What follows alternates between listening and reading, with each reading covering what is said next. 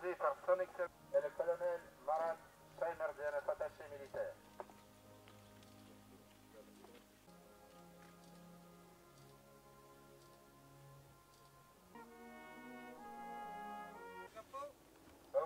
Un représentant militaire, Monsieur Matsakan Safarian, conseiller de l'ambassade, et Monsieur Chavoyan,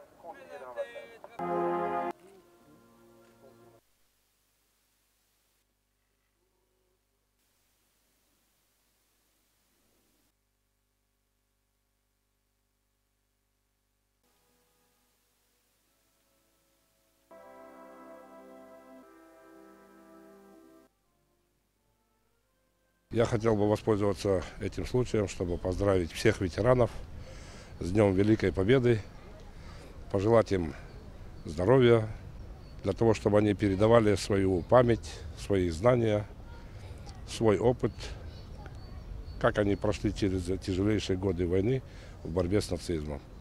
Мы в этой войне потеряли 27 миллионов людей.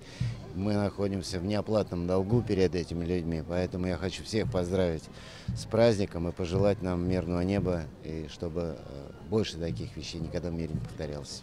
Что этот святой праздник а, действительно объединяет все народы бывшего Советского Союза, всех тех, кто и в других странах воевал а, с нацизмом, с фашизмом, а, и э, объединяет их общее понимание той истории. Сегодня имеют место попытки переписать историю, а, грубо фальсифицировать то, что произошло.